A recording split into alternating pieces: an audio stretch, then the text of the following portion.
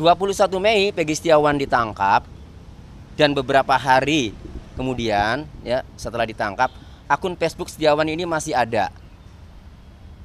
Bahkan setelah ditangkap setelah tahu bahwa itu Pegi Setiawan, netizen beramai-ramai mencari akun Facebook Setiawan. Kemudian netizen berhasil men-screenshot, memfoto layar postingan-postingan Pegi Setiawan.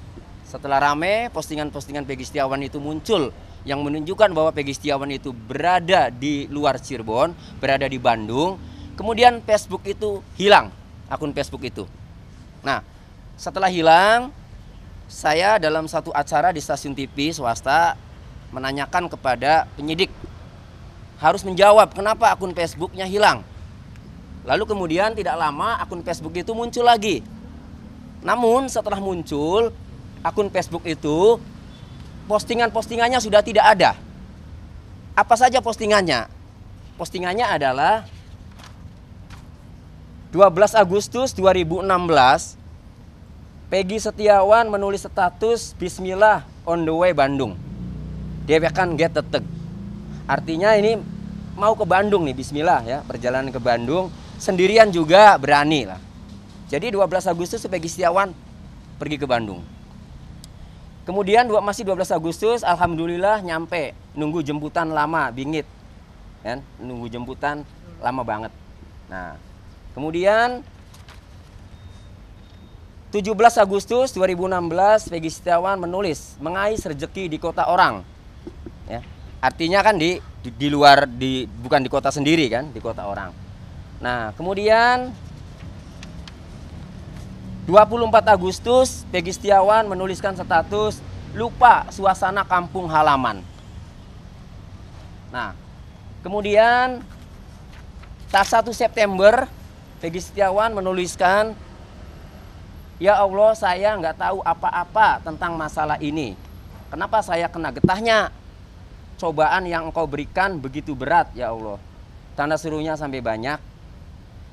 Ini Kejadian itu kan tanggal 27 Agustus 2016. Tanggal 30 Agustus 2016, tiga hari setelah kejadian, polisi itu mendatangi rumah ibu Peggy.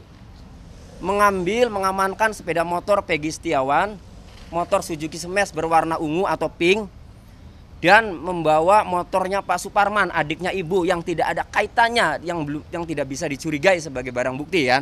Nah, tetapi kemudian motor tersebut dua-duanya belum dibalikin, terutama yang punya Pak Suparman yang dipakai dipinjam oleh polisi ya untuk menyetep karena motornya Pegi Setiawan ini sudah rusak sebulan yang lalu nggak bisa jalan sehingga perlu disetep ya Bu. Minjemlah motor buat nyetep, akhirnya dua-duanya dibawa sampai sekarang motor Jupiter itu tidak dibalikin. Ibu bercerita lah mengabari ke Pegi Setiawan melalui bapaknya bahwa ada polisi mengambil motor dan e, dituduh membunuh. Oleh karenanya nulis status ini satu Septembernya Pegi Setiawannya, kan? Ya Allah saya nggak tahu apa-apa tentang masalah ini, kenapa saya kena getahnya? Cobaan apa? Cobaan yang memberikan begitu berat. Ya ini setelah dikabari oleh ibu, setelah polisi datang ke rumah kan, 30 Agustus 2016. Jadi jelas postingan ini ya, ya menunjukkan bahwa memang Pegi Setiawan tidak tahu apa-apa dan berada di Bandung. Lalu ada lagi postingan yang lebih penting, yang tidak kalah penting. Ya. Di sini 10 Desember 2016. Ye pulang. Karena proyeknya Pegi Setiawan berada di Bandung itu sejak Juli sampai akhir November itu habis.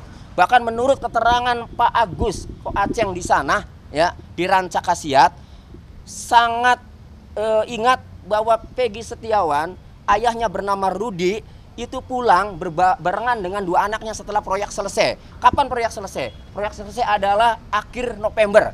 Makanya ditulis di sini 10 Desember pulang jadi nyambung. Nah, kemudian Nah, ini ya Allah tiap hari berangkat pagi pulang malam kagak punya waktu buat ngirim main. Nah, rangkaian-rangkaian seperti ini ya kami menilai ini sangat penting, ini menguntungkan Pegi, menguatkan Pegi bahwa pada saat kejadian berada di Bandung, bukan di Cirebon. Tapi postingan-postingan yang bagi kami penting ini hilang setelah muncul lagi akun Facebooknya. Maka kami meni, me, me, menanyakan pada hari kedua tes psikologi, saya tanya kepada Peggy, Peggy, ini akun Facebook kamu? Saya bilang, saya tunjukin kan, ini akun Facebook kamu. Betul pak. Kok postingan-postingan kamu hilang? Ya nggak tahu pak. Kamu masih bisa nggak di penjara di dalam sel untuk meng, meng, apa, mengendalikan Enggak pak. Saya tanya, penyidik pernah minta password nggak? Iya pak, pernah minta. Oh pantas kata saya. Pada saat saya nanya, ada Pak Kanit, Pak Denny Mukhtar itu karena mau turun ke lift ya saya tanya dulu karena pengacara punya hak untuk bertanya kepada e, tersangka kepada kliennya kan itu jadi ada dua dasar satu postingan Facebooknya hilang. Postingan kedua Pegi Setiawan menjelaskan kepada kami bahwa penyidik pernah meminta password.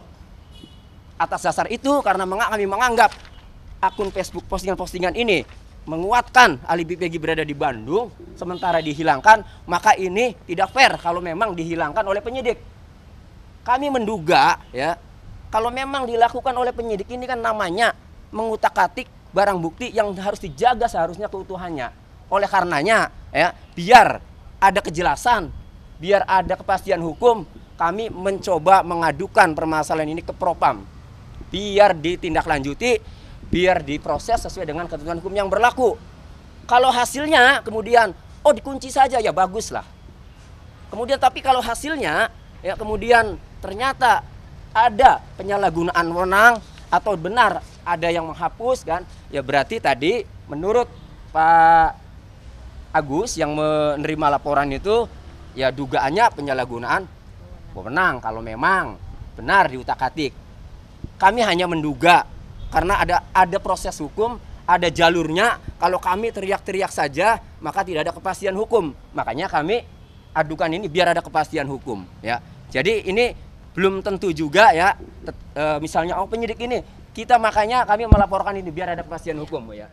Download Tribun X sekarang. Menghadirkan lokal menjadi Indonesia.